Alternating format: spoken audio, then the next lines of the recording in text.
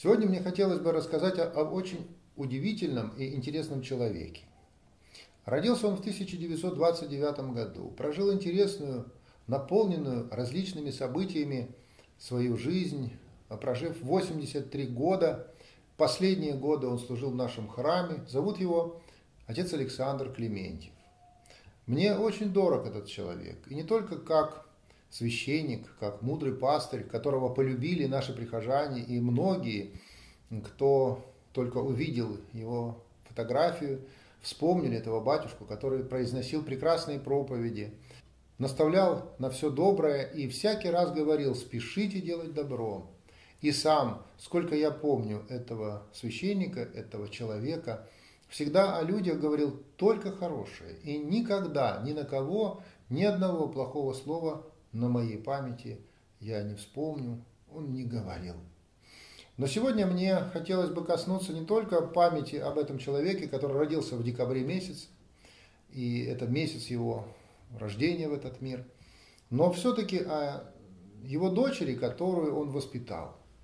Среди пятерых детей, а у них было пятеро детей, были мальчики и одна девочка, которая потом выросла, и на своем жизненном пути я встретил его дочь по имени Мария, которая стала потом моей супругой, моей любезной матушкой. И вот совсем недавно она решила собрать все труды, письма, воспоминания, проповеди, стихи батюшки. Оказывается, он писал много стихов. И получилась целая книга. Матушка э, собрала все труды своего папы, моего тестя, отца Александра Клементьева, и назвала эту книжку «Время крестное». Оно действительно соответствует названию. Время крестное – это время не только, когда жил батюшка, он вспоминает о том времени, э, начиная от исторических событий еще библейского периода, о чем пишет здесь драму, потом здесь размещается еще драма об Александре Невском, которое также было сопряжено с крестным временем, потому что для христианина это время, наверное, идет нескончаемо. И каждый из нас несет по своей жизни этот жизненный крест, и крестное время продолжается. И мне хотелось бы сегодня из этой книги буквально зачитать всего несколько строк из э, библейского сюжета, стихотворение, которое батюшка так и назвал «Бог». Дух истины и благодатной силы, безмерная любовь и красота, таинственный, в трех лицах ты единый, источник святости, блаженства и добра. И чем дальше мы удаляемся, проживая свою коротенькую жизнь от того периода, когда жили наши родные, близкие, дорогие нашему сердцу люди, тем дороже становятся нам их письменные и памятные наставления. Вот пусть для всех нас станет в завершении наставлением отца Александра Клементьева его слова, которые он сказал в одной из своих проповедей на Новый год.